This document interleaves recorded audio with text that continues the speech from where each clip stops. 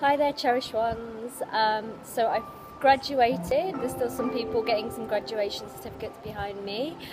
Qualified yoga teacher, and I got given this ring, which is connected to the Isha Foundation, which coincidentally me and my sister did um, an Isha yoga course in January. Um, such a sense of relief, elation, happiness, a bit of sadness from leaving everybody, but a real sense of joy for this new beginning and this new blossoming to go outside and share this beautiful work. I'm wishing you all so much love.